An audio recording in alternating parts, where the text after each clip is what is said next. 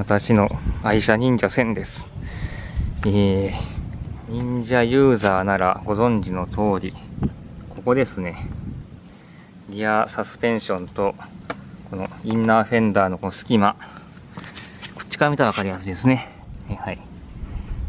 穴が開いてるんですよね。えー、なので、こタイヤの、ね、泥を跳ね上げたりしたのももうこの中に入ってきちゃって、ショッショック汚れちゃうんで、まあ、これ忍者購入当初から、でもう何年も前ですけど、その頃から気になってて、ここ塞ごうと思うんですよ。社外品なんかこう塞がってるやつがあるんで、気にされてる方はそっち付け替えてるんじゃないですかね。でも私ちょっと予算的な都合もあるんで、ここ工作して純正のフェンダーの穴を塞ぎます。はい、こんな感じですかね。これ段ボールで現物合わせて作った型紙ですけども、はい。えー、あとのこれを元に、えー、切り出していきます。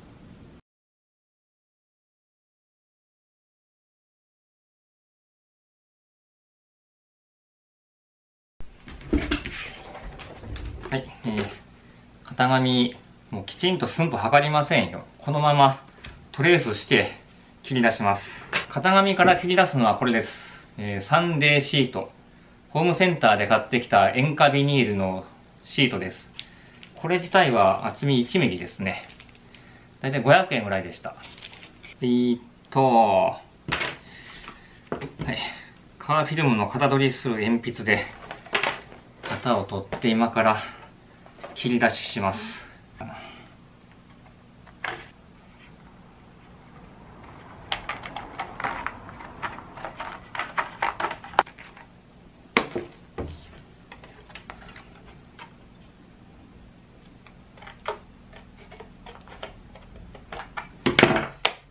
はい。切り出しました。あとは折り目をつけていきます。あって。よし、よいしょ。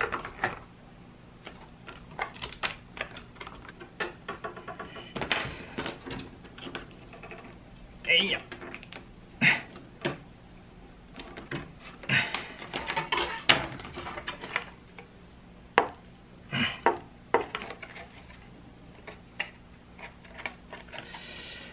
よし。とりあえず、カッコついたんで、いっぺん合わせてみましょうか。さあ、合わせてみます。どうだ？うん、まあ。まあ、段ボールと比べて若干素材の硬さも違うんで、微妙なズレもありますけど、まあ、ほぼほぼ思った通りな感じになりましたんで、で今からこいつを固定します。固定は車の内装を止めたりするのに使うこのグロメット。こいつもホームセンターで買ってきました。まあサイズはお好みで。半田表ですね。はい。半田表でちょっと下穴開けます。ちょっととりあえずまず1箇所。うんどこかな。この辺かな。いやよし貫通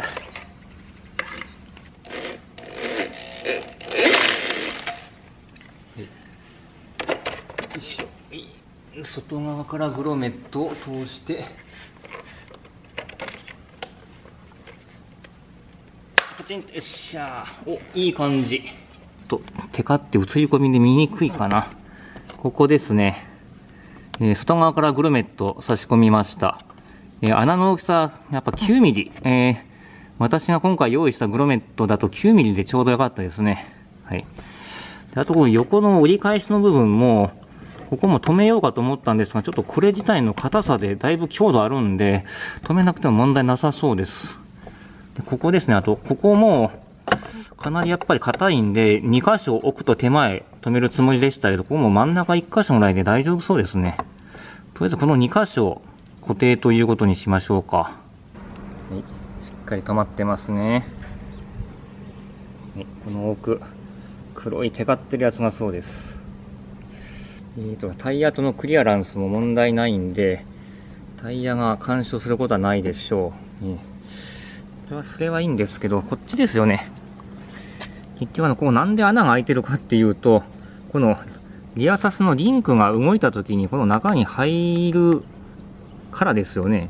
どの程度入るかちょっと実際に動いてるとこ見たことないんでわかんないですけど。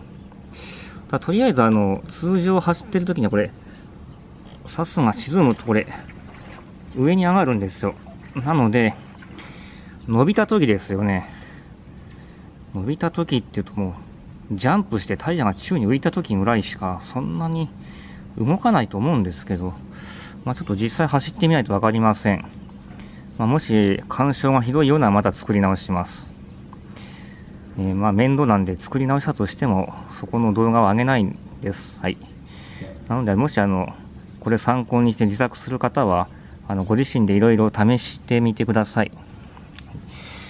ということで、えー、忍者1000インナーフェンダーのえ穴を塞ぐ工作は、もうまたかっこいい名前があればいいな。でもちょっと思いつかない。穴塞ぎ工作完了です。